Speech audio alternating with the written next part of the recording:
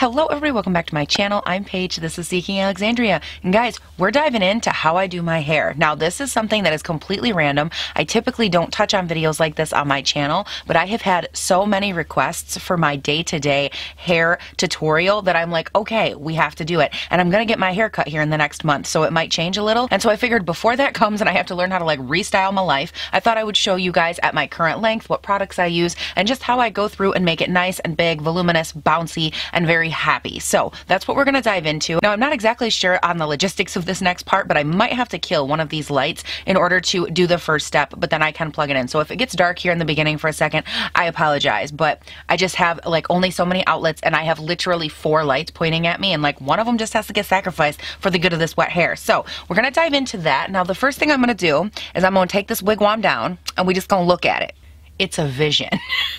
you guys, this is my hair. It is completely unattended to, unbrushed, unloved, uncared for.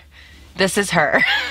also, my eyes are watering um, the most ridiculous in the entire world. I don't know what is happening. Both eyes are just water working themselves. So if you see me touching my eyes or look like I'm crying or take this toilet paper here and just like relentlessly touch my face, I apologize, but literally I'm, I'm confident my eyeballs are just gonna fall out. So let's go ahead and get started with some products that I love to put in my hair prior to styling. I am all about preventative treatment. I am all about infusing hydration and oil and making sure that my hair is not only nourished, but also protected through this whole process because I do have very fine hair, but I have a lot of it. So it's a lot more prone to damage and breaking. Plus with all of my medical issues and things like that, I do run into a ton of issues um, with it just spontaneously like falling out and breaking off that has no relation to heat styling. So if that is you, I got you boo. I have a ton of products here that I am obsessed with. Now, the first thing I love to go in with is my Briogeo. This is the Rosarco Milk uh, Spray Leave-In Conditioner. Now, I don't overdo this because I am going to be layering in quite a few products. And so I don't want to make my hair super duper heavy,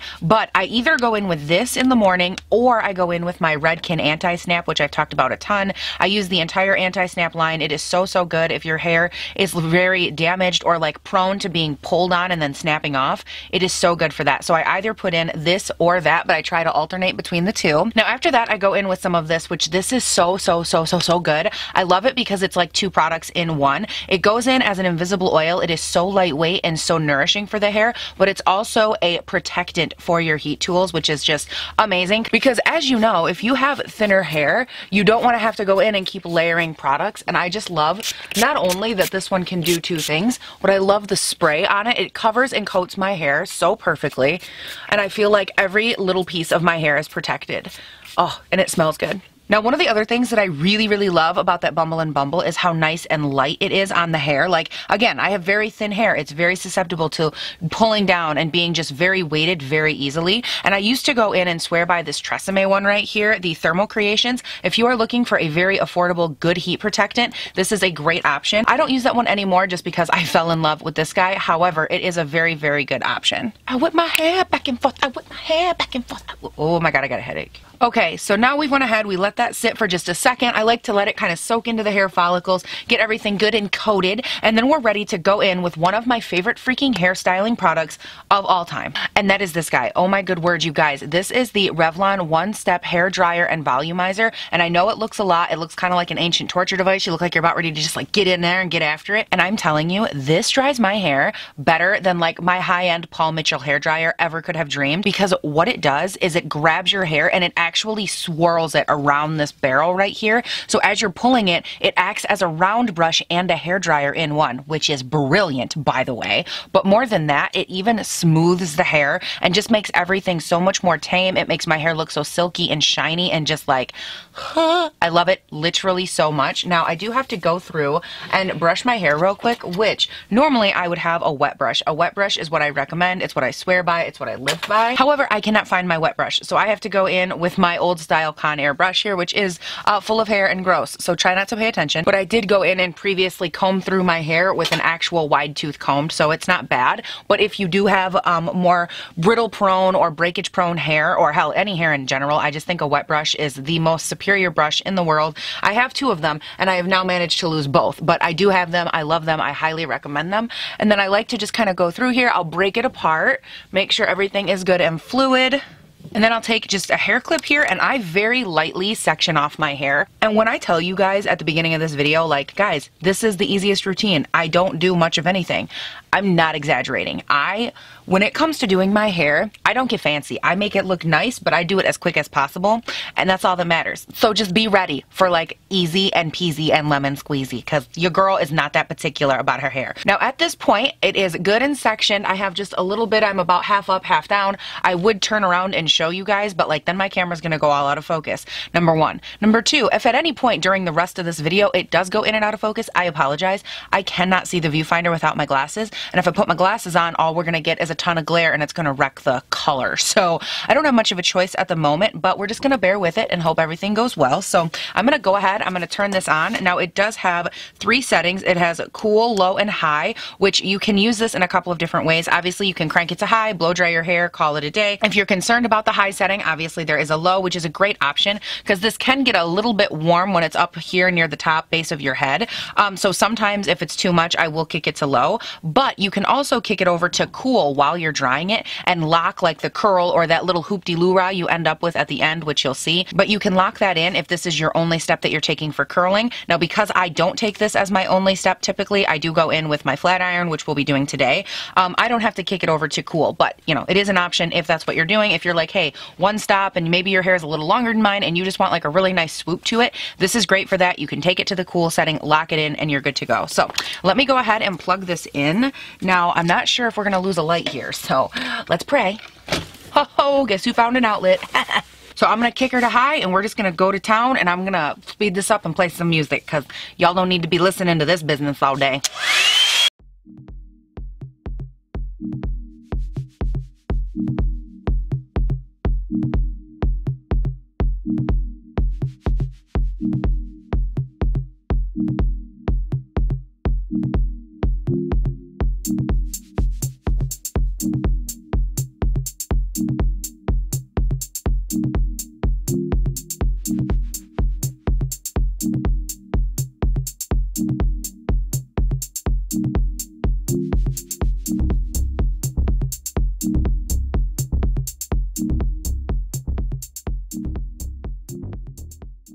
Okay, so at this point we are here and I have to be honest, I do wear my hair like this also quite often because I just love the way that it kind of brings everything in and down. And if that is something I plan to do, I work with that a little bit more and I really work on kind of shaping the ends and giving it that kind of twist action that you guys saw. Um, and it does just kind of help bring my hair in and frame it around the face. Now, if you have longer hair than me, it's definitely worth taking the time. And I also want to mention that that tool is only a $60 tool, which I know can be a little bit expensive if you consider all different like drugstore options. But for what it does and how beautiful it makes the hair look and feel, like my hair has never been more silky and more smooth after I am done blow drying it as it is with that tool. A lot of times because my hair is so fine, it gets super tangled and snarled and it'll blow all over and it really just has a tendency to want to fry and blow my ends of my hair out. And that just goes in and makes everything so nice and smooth. And if you do, like I said, take the time to work with it and really bring it down around your face, you can get a beautiful swooped look. I don't spend the time doing that because again, on days like today where I'm going in with my flat iron, it just isn't worth the extra time, but it can be and it works beautiful. So now we're going to dive in with one of my favorite, not one of, my favorite hair oil of all time. This is the Ouai Classic Hair Oil right here. I am obsessed with this stuff. Now I, because I do have very light, thin hair, like I've said 15 times, I only go in with like one, maybe two pumps, one and a half pumps, a tiny, tiny amount, like can you guys even see that? I very little. I work it onto the hands, in between the fingers, and then I mainly focus this, of course, at the bottom because I am more prone to oily scalpage. And I just like to go in here and really work it through the ends before I go in with my straightener. And that hair oil is just so light and so airy and it smells so good. Oh my god, I love it. All right, so at this point, we're doing it again. We are grabbing our hair, except this time we're gonna grab a little bit lower and leave only our little tail ends right here out because we're going to start the process of going through and curling everything under. Now to do that, I go in with my Chi Elite. This does have tourmaline plates. There are three different types of plates. You have ceramic tourmaline and then the titanium. And tourmaline is kind of that nice medium grade where it is ceramic and the titanium mixed together or plated. And for that reason, I really like this. I feel like it's a good balance. I got this at Sally's um, for Black Friday. It was way, way, way on sale, but I'm just going to take this and start folding these ends down and onto themselves. And for this step, I don't really care what it looks like as long as it's just nicely swooped under. You guys can see it's not anything crazy. I'm not like, oh, I need it to be perfect. I need it to be amazing. I need blah, blah, blah. No, I just want it to have a nice swoop. I just don't want it to be sticking straight out like electrical socket, which is what my hair tends to want to do, especially these hairs on the underside, like all this layer, this whole ring right here also, everything wants to just stick straight out. And it's like, no, girl, we are not on the cover of Vogue editorial over here, like having people style us. That look is not in when you're just sitting in the office. You look crazy. And so we're trying to correct that and just go in and do this. Now, again, I just grab large sections and run it through. Nothing exciting. And then I actually just go ahead and layer down my hair and do the same thing over and over and over again. And it only takes me a pass or two on each section because again, I'm not that particular about this step. I just go through, do that a little bit, nothing fun, nothing crazy. And as far as what heat I am on, I wanna say I'm sitting at about 350, 360, which for my um, type of hair is better. It's nice to go on a lower heat when you have damaged, brittle, prone to brittleness hair, which is what I have. So now we're just gonna go ahead and we pull it down, we move into the next couple of layers and we just repeat that process. So let's speed speed it up.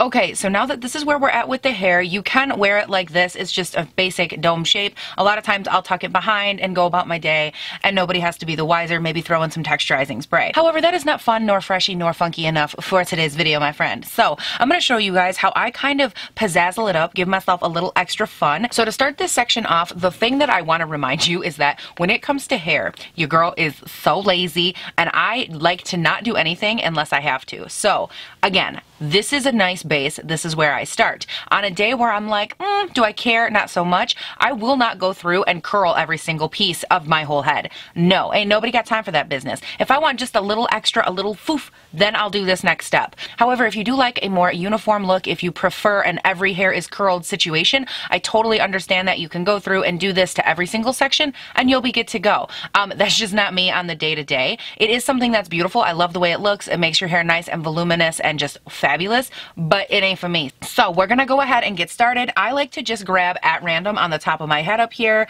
and the idea is just to create some extra texture, some extra uh, curls, some extra definition that kind of breaks up the monotony that is this overall shape we have going. And just by adding in different textures or different movements to the hair, it just makes it look not only more full, but it also gives it a more fun, playful look, which is what I love. So I like to take my flat iron here, and this isn't anything revolutionary revolutionary, this whole curling with the wand situation.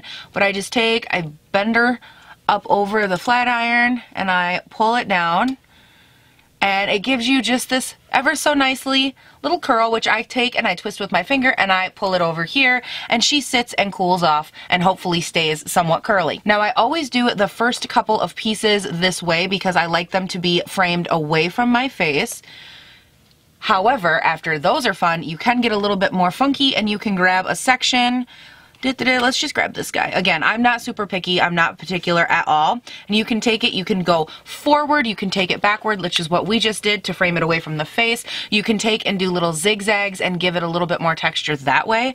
Um, I will take like one back here a lot of times and I will shape it forward, which just means pulling the flat iron in the opposite direction which makes the curl go in the opposite direction. Take it, twist it, set it aside.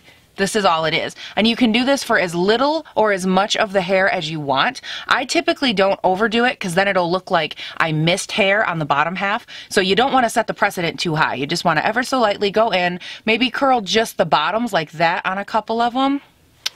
Just enough to give you, again, see that little swoop, that little texture, that little moment keep going. I'm going to do this one. I think I want to do this one front ways. Never mind, I guess I'm doing it backwards. Okay. Sometimes I also forget which way is left and right. You know, it happens to the best of us. It's early, it's morning. We're not always at the top of our game. Look at my face. Hello. Then I'm going to take this one, I'm going to pull her forward, and you can see that I cranked it to the front and then I'm curling it, setting it up to the side. Now, at this point, you can kind of look, you can decide, do I want more texture right here? But before you make that decision, let's flip these over and just see what kind of scoopage we have going on.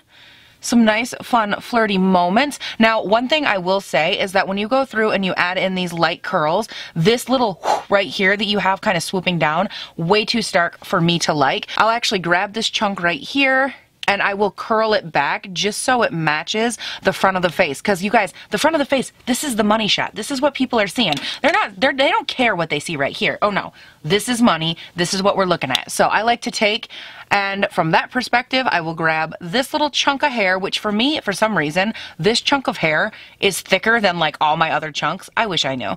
But we're just going to grab it and section it off, thin it out with my fingers, doo -doo -doo, and just get it nice and flat. And then I'm going to grab my straightener and I'm going to hoop-de-loo-rah right in the upward direction, bam, and just give it a kink little curl upward. And then just so everything matches a little bit better, I will go in and hit a couple of these curls around the entire head just because I don't want it to look like I only did the front. Like, technically, did I only do the top and the front? Yes, but I don't want it to look like that.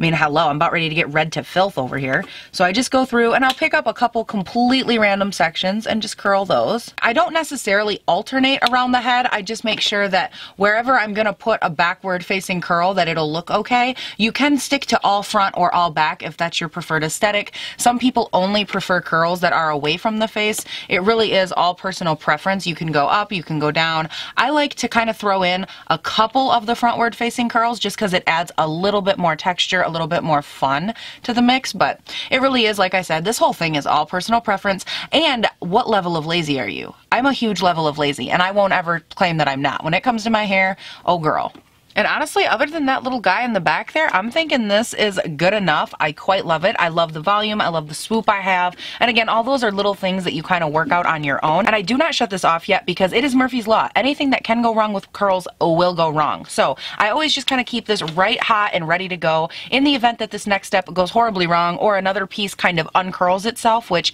if you have my hair, which is very inhospitable, that is not uncommon. So now when it comes to sprays, I do have two favorites right here. I have the Ouai Texture moisturizing hairspray, and I have the Living Proof Full Dry Volume Blast. This is an instant volume styling finishing spray, and this one again is just more of a texturizing spray. I used to go in very heavily with a hairspray and try to get my hair to really stick and stay and do what I wanted it to do. And then I realized my hair is like an uncooperative eight-year-old. If you try to tell it to put its shoes on, it ain't gonna happen. It will do everything. It will sit there, it will kick, it will scream, it will count the dots on the ceiling. It will not put its socks on.